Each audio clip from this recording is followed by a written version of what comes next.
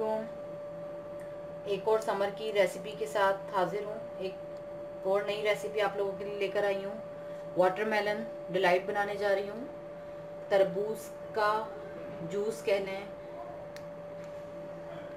बहुत ही ज़बरदस्त, बहुत डिलीशियस बनता है और समर में तो ये बेस्ट है। गर्मी के एहसास को कम करता है। रमज़ानों, रमज़ान भी आपको पता है आने वाले हैं। तो रमज़ानों में भी हम लोगों को डिफरेंट जूसेस बनाते हैं। इसलिए ये रेसिपी शेयर करने जा रही हूँ। ये रेसिपी बनाने के लिए जो चीज़ें हमें रिक्वायर्ड होंगी, वो मैं आप लोगों को नोट डाउन करवा रही हूँ सबसे पहले।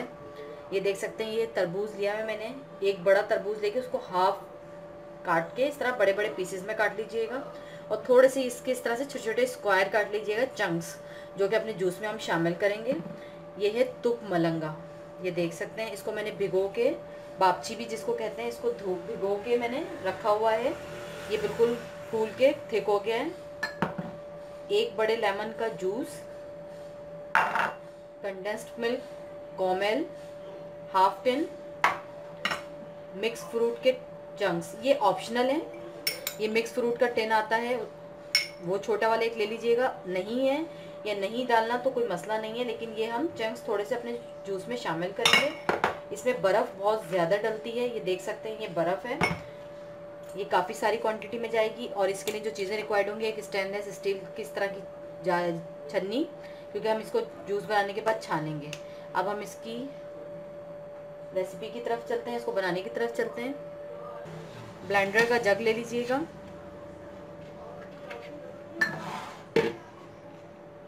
इसमें ये तमाम मिल कर देंगे हम।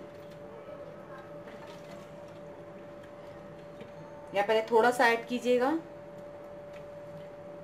इसको ब्लेंड कर लें पहले। ये देखें, मैंने इसका जैसे जूस बनाया तो वो थोड़ा सा कम हो गया। अब इसमें ये बाकी का भी हम शामिल कर देंगे।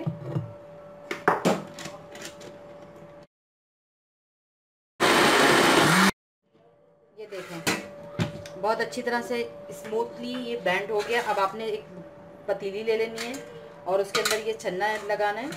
और इसको इस तरह से छान लेना है। ताकि जितने भी बीज होंगे या जो कुछ भी होगा तो वो सब ये देखें।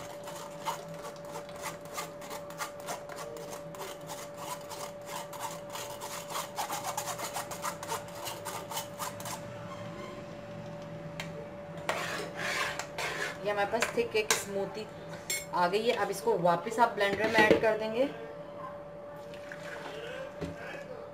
ठीक है, ये देखें, मैंने तमाम जूस वापस इसी में शामिल कर दिया।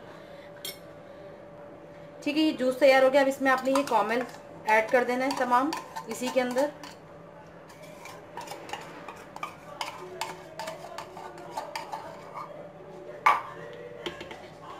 और ये लेमन जूस भी इसी में शामिल कर देंगे आप।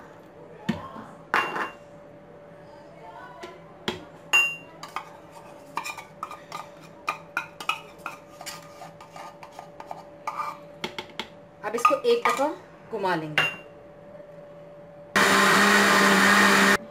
ठीक है, ये देख सकते हैं, इसको मैंने ब्लेंड कर लिया। अब इसमें से थोड़ा सा कम कर लें ताकि हम बर्फ़ के साथ इसको एक अच्छा सा वो दे सकें टेक्सचर ठीक है, मैंने कम कर लिया, इसमें बर्फ़ का ज़्यादा यूज़ है।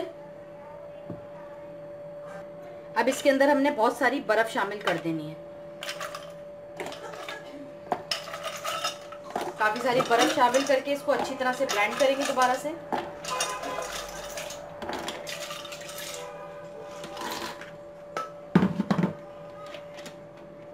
बर्फ़ डाल के मैंने इसको बहुत अच्छी तरह घुमा लिया है। बिल्कुल बर्फ़ चूरा चूर हो गई है। अब इसके अंदर हमने ये ये जो तुक मलंगा थोड़ा सा शामिल करके और इसको एक दफ़ा ब्लेंड करना है ताकि वो जो लेस है, वो चीज़ें ख़त्म हो जाए। ये देखें, बिल्कुल स्मूथ सा ये हमारा तैयार हो गया। अब हम इसको सर्व करते हैं। ठीक है, इसमें आपने इतना ही निकालना है, क्योंकि अगर ज़्यादा निकालेंगे तो फिर हम ये चंक्स नहीं डाल सकेंगे। अब आपने इसमें थोड़े से तरबूज के थोड़े से ये मिक्स फ्रूट के चंक्स शामिल कर देने।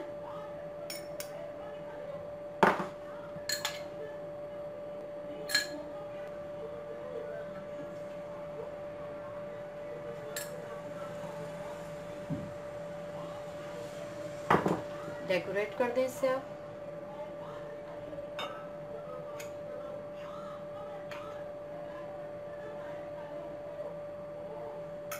ये शामिल करें ये देख सकते हैं, तरबूज वाटरमेलन स्मूटी हमारी मज़ेदार सी तैयार है। ये कॉमेल ऊपर से आप चाहें तो उसको स्प्रिंकल कर लें इस तरह से।